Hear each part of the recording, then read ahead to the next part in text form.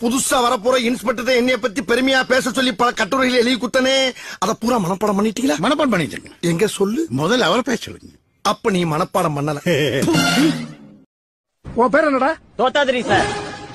உன் பேர் என்ன? ரஜினி முருகன் சார். கோர்ட்டு கேஸ்னு போச்சுன்னா பத்தாயிரம் பதினஞ்சாயிரம் பெனால்ட்டி கட்ட வேண்டி வரும். எவ்வளவு வச்சிருக்க? இருபது ரூபா சார். நீ எவ்வளவு வச்சிருக்க? இருபது ரூபா சார். எங்க இருக்கு? அதான் சார் இது. பாலா இந்த தோசை ஏன் திருப்பி போடுறோம் தெரியுமா? ஏன் திருப்பி போடுறோம்? அதால திரும்ப முடியாது நம்ம திருப்பி போடுறோம். ஒரு செடியில எத்தனை பூ பூக்குது?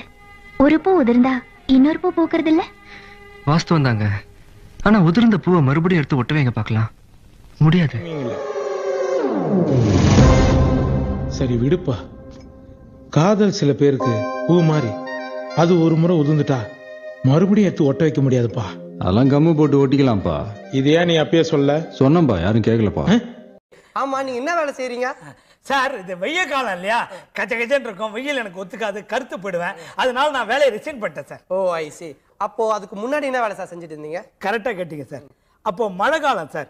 ஒரு துளி மழை என் மேல பட்டாலும் ஜுரம் வந்துடும் சார். ஜலதோஷம் பிடிக்கும். இதெல்லாம் எனக்கு ஒத்துக்காது. அதனால வேலையை ரிசைன் பண்ணிட்டேன் sir. Oh very good very good நம்ம டம்ளர் தண்ணி வைடா கொதிச்சதுக்கு அப்புறம் வந்து அரிசி போடுறேன்னு சொல்லிட்டு போனேன் மேடம். சரி. அதுக்குள்ளே வந்து பாக்குறேன் என்ன பண்ணிருந்தான்னு கேளுங்க மேடம். அடுப்புல ரெண்டு டம்ளர் எடுத்து தண்ணி மோந்து வச்சேன். தப்பா. சத்தியமா எனக்கு இங்கிலீஷ் தெரியாது. ஏதோ ஒன்னு ரெண்டு இங்கிலீஷ வச்சு இந்த ஊரை ஏமாத்திக்கிட்டு இருக்கேன்.